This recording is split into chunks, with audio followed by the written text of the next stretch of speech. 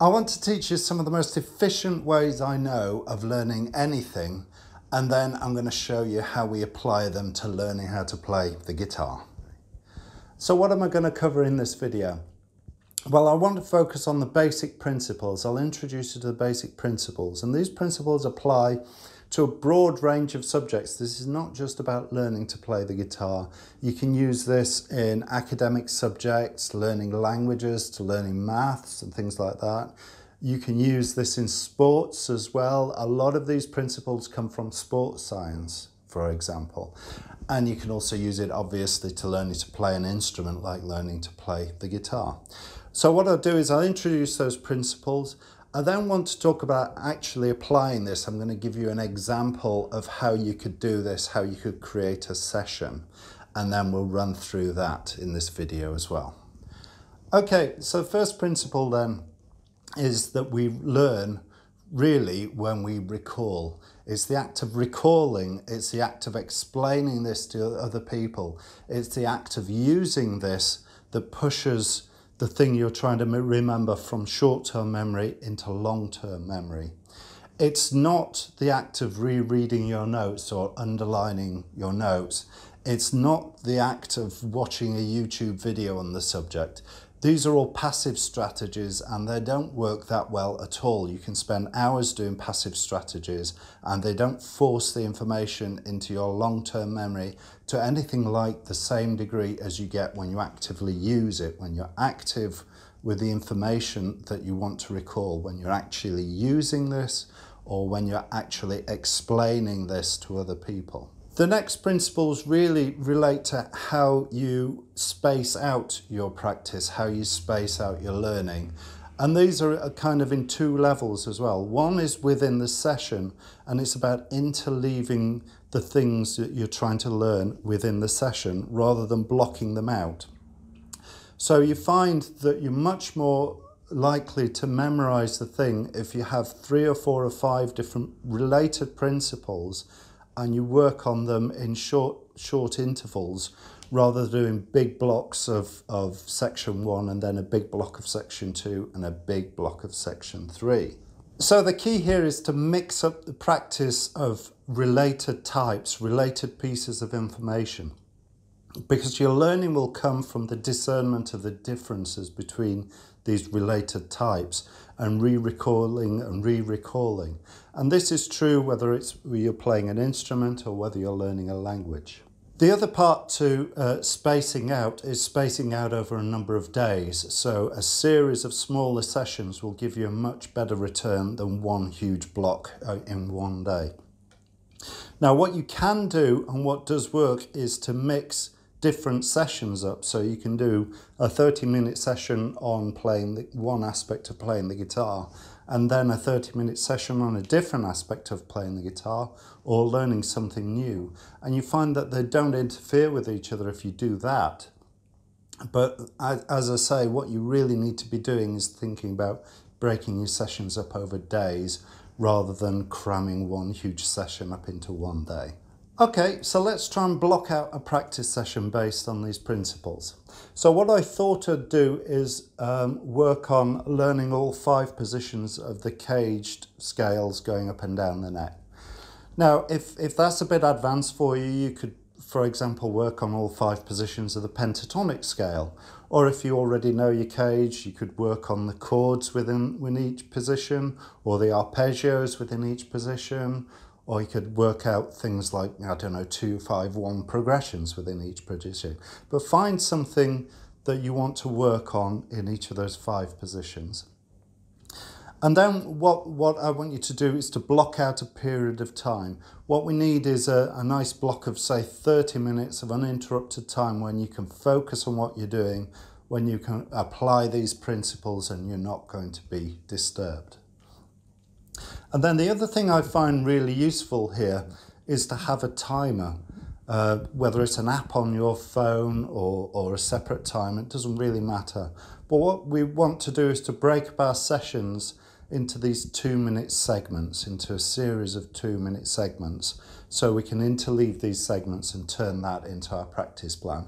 And it's really useful to have that timer because it's very easy to sort of get lost in one position and you find you've just burnt five or 10 minutes working in one position and you've forgotten to move on to the next one. So this, this is a really useful thing to just prompt you and to keep that, that uh, emphasis going.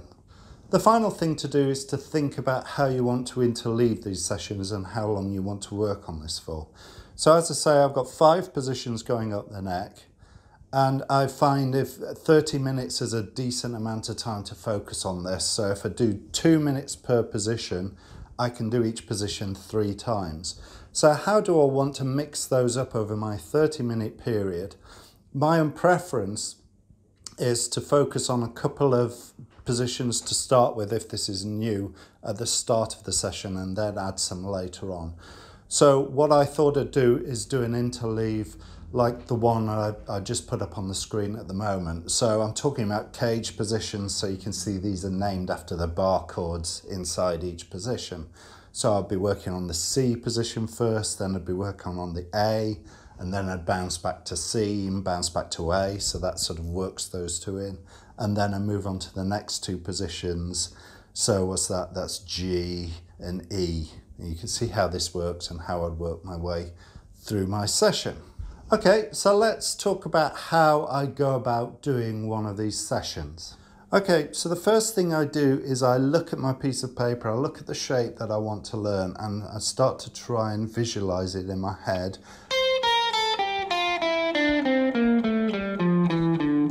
and start to play it on the guitar now and see what that feels like. And I'm looking for obvious things like where are the root notes? So what key am I in? There's my root note, I must be in the key of F major.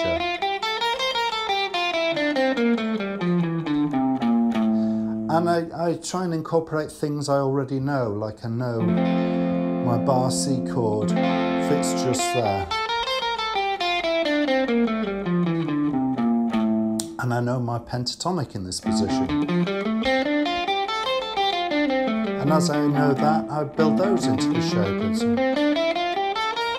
And, and I can see other chords within here as well, like there's an A minor and there's an E minor bar chord and there's a G bar chord and there's a D minor bar chord as well, all hidden in this shape.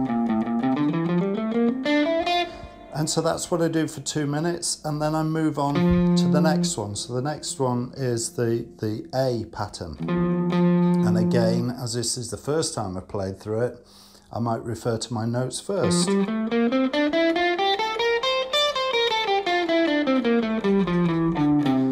I look at this and I can see I've got two notes on the E strings and three notes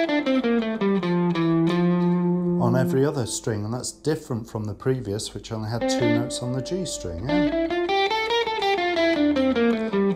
And look, I can see there are my root notes and I can see that root note is common between the C and the A shape.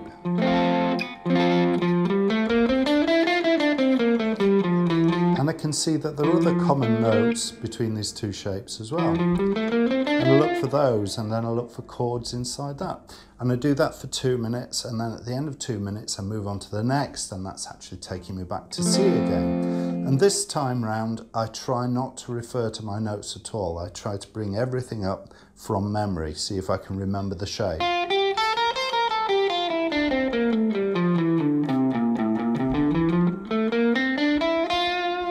And again, I'll work my way around the C shape, seeing how many, how many references, how many things I can bring into this and whether I can memorize the shape. And then I move on to the next one, which is back to the A. So I see if I can memorize that. And I only refer to my notes when I move on to a shape that I've never encountered before. And I try and commit that to memory. And so I work my way through this whole plan, section by section, until I've hit the end. And once I've hit the end, that's when I take a break. So to summarize then, the best learning happens when you recall the information, when you bring it back, when you're actually using it, when you're explaining it, when you're talking about the principles, that's when you really learn the subject. Not when you're first reading about it, not when you're passively watching a YouTube video. So make make that commitment to give this a try. Actually get your hands dirty, pick up your guitar, find that 30 minutes and have a go at this stuff. The other thing is all about spacing. It's all about interleaving. So find two or three or four related pieces of information and learn them all in one chunk in an interleaved way. And you'll find that that process of interleaving allows you to spot the differences, spot the similarities between those, those different parts. And that will all contribute to the learning as well. And then finally, it's all about how you space this throughout the week as well. So don't try cramming everything in one epic session in one day and expecting that to stick. Break it down into smaller sessions and do it throughout the week as well. And you'll find all of those three will contribute to a much better piece of learning.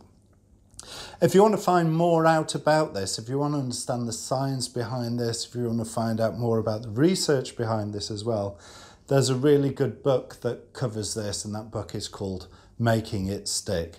So check that out if you want to, and there's plenty of videos on YouTube and websites and things like that if you if you can't afford to buy the book as well. So anyway, that's it for this week, and we'll chat next time. Goodbye.